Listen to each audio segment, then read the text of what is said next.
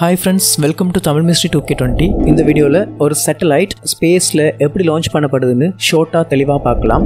அதுக்கு முன்னாடி இந்த சேனலை நீங்கள் இன்னும் சப்ஸ்கிரைப் பண்ணலைன்னா மறக்காமல் சப்ஸ்கிரைப் பண்ணுங்கள் இந்த பூமியை கிட்டத்தட்ட டோட்டலாக ரெண்டாயிரத்தி அறுநூற்றி அறுபத்தி ஆறு செயற்கைக்கோள்கள் சுற்றி வருது. நம்ம இப்போ இந்த சேட்டலைட்டுகள் எப்படி ஸ்பேஸுக்கு லான்ச் பண்ணப்படுதுன்னு பார்க்கலாம். பூமியில இருந்து இந்த சேட்டலைட்டுகள் ராக்கெட் மூலமா விண்வெளிக்கு கொண்டு செல்லப்பட்டு விடப்படுது. இந்த லான்ச்சிங்ல சேட்டலைட் ராக்கெட்டோட மேற்பகுதியில வெளிப்பக்கமா வச்சு இணைக்கப்படுது. இந்த சேட்டலைட்டுகளை இப்படி ராக்கெட் மூலமா மேலே கொண்டு போகும்போது அட்மாஸ்பியர் ஹீட்னாலையும் டைனமிக் ப்ரெஷர்னாலையும் உருவாகிற டேமேஜ்ல இருந்து பாதுகாப்புக்காக ஃபேரிங்னு அழைக்கப்படுற ஒரு மெட்டல் ஷீல்டு யூஸ் பண்ணப்படுது. இந்த ராக்கெட் பூமியோட அட்மாஸ்பியரை அதாவது காற்று மண்டலத்தை விட்டு விலகி மேலே போன உடனே சேட்டலைட்டை சுற்றி இருக்க இந்த ஃபேரிங் லோக கவசம் கலட்டப்படுது. பூமியை சேட்டலைட் சுற்றி வரக்கூடிய அந்த வட்டப்பாதை ஓபிட்னு அழைக்கப்படுது. ஒரு ராக்கெட் ஒரு சேட்டலைட்டோட ஓபிட்டை நோக்கி ட்ராவல் பண்ணும்போது அந்த ராக்கெட்டில் இருக்க தேவையில்லாத பகுதிகள் ஒவ்வொரு ஸ்டேஜாக கலட்டப்படுது. ஃபர்ஸ்ட் ஸ்டேஜில் அந்த ராக்கெட்டில் கீழ் பகுதியில் இருக்க முதலாவது ஃபியூல் டேங்க்ல எரிபொருள் முடியும் போது அந்த ஃபியூல் டேங்க் பார்ட் கலட்டப்பட்டு பூமியில் விளவிடப்படுது இதுக்கு அடுத்ததாக இருக்க பார்ட்டில் இருக்க மேலதிக ஃபியூலை யூஸ் பண்ணி ராக்கெட் மேலே போயிட்டு இருக்கும்.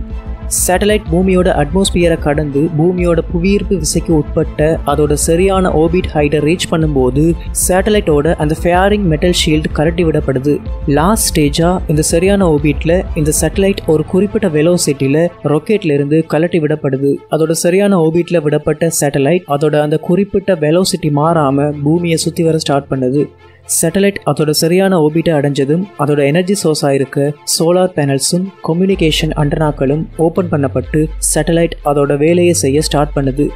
இவ்வளோ ஹைட்டில் பூமியோட புவியீர்ப்பு விசைக்கு உட்பட்ட எல்லையில் விடப்பட்ட சேட்டலைட் பூமியோட புவியீர்ப்பு விசையால் பூமியில் வந்து விழாமல் தொடர்ந்தும் பூமியை சுற்றி வந்துட்டே இருக்கும். அதாவது சாதாரணமாக பூமியில் நம்ம ஒரு பொருளை ஒரு பக்கத்திலிருந்து இன்னொரு பக்கத்துக்கு தூக்கி எறியும் போது அந்த பொருளோட வேகம் காற்று மண்டலத்தால் குறைக்கப்பட்டு பூமியோட ஈர்ப்பு விசை காரணமாக அந்த பொருள் திரும்பவும் கீழே விழுது. இந்த பொருள் பயணம் செஞ்ச அந்த பாதை ஒரு வளைவான பாதையாக இருக்கும். ஆனால் இந்த சேட்டலைட் விடப்பட்ட அந்த ஸ்பேஸில் அட்மாஸ்பியர் இல்லை. இதனால அந்த இடத்துல விடப்பட்ட அந்த சேட்டலைட்டோட வெலோசிட்டி காற்று மண்டலத்தால் குறைக்கப்படாமல் மாறாத வெலோசிட்டியாக இருக்கும். அதே நேரத்தில் கீழ்நோக்கி இருக்க கிராவிட்டி அந்த வெலோசிட்டியை பேலன்ஸ் பண்ணுறனால அந்த சேட்டலைட் பூமியை சுற்றி ஒரு வட்ட பாதையில் சுற்றி வருது. அதாவது பூமியிலிருந்து கிட்டத்தட்ட இருநூற்றி நாற்பத்தி ரெண்டு கிலோமீட்டர் உயரத்தில் விடப்பட்ட சேட்டலைட் பூமியோட கிராவிட்டியை பேலன்ஸ் பண்ணி ஒரு வட்டப்பாதையில் பயணம் செய்யணுமா இருந்தால் அது ஒரு அவருக்கு கிட்டத்தட்ட இருபத்தி ஏழாயிரத்தி முன்னூற்றி அறுபது கிலோமீட்டர் வெலோசிட்டியில் சுத்தக்கூடிய மாதிரி விண்வெளியில் விடப்படணும்.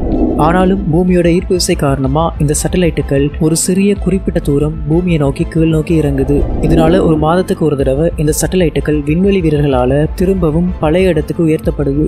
சேட்டலைட்டுகள் வெற்றிகரமாக விண்வெளியில் விடப்பட்ட பிறகு அதோட ஒரு முனையில் விண்வெளி வீரர்கள் அந்த சேட்டலைட்டில் இருந்து பிரிக்கப்பட்டு பூமியோட ஈர்ப்பு விசை மூலமாக மிக வேகமாக இழுக்கப்பட்டு பூமியை நோக்கி மிக வேகமாக கீழ் நோக்கி பயணம் செய்வாங்க.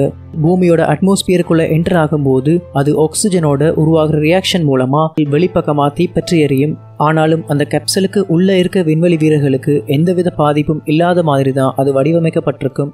ஒரு கொஞ்ச நேர பூமியை நோக்கிய பயணத்துக்கு பிறகு பூமியை நெருங்கும் போது அந்த கேப்சலில் இருக்க பேராஷூட் ஓப்பன் ஆகும். இதில் சேஃப்டிக்காக நிறைய ஸ்டேஜில் பேராஷூட்ஸ் ஓப்பன் ஆகும். ஃபைனலாக இந்த கேப்சல் லேண்ட் ஆனதும் அதில் இருக்க ஜிபிஎஸ் சிக்னலை ட்ராக் பண்ணி ஹெலிகாப்டர் மூலமாக விண்வெளி வீரர்கள் மீட்கப்படுவாங்க. ஸ்பேஸ்ஷிப் மூலமாக விண்வெளிக்கு பயணம் செஞ்ச விண்வெளி வீரர்கள் அந்த ஸ்பேஸ்ஷிப் மூலமாக திரும்பவும் பூமியை வந்து சேருவாங்க.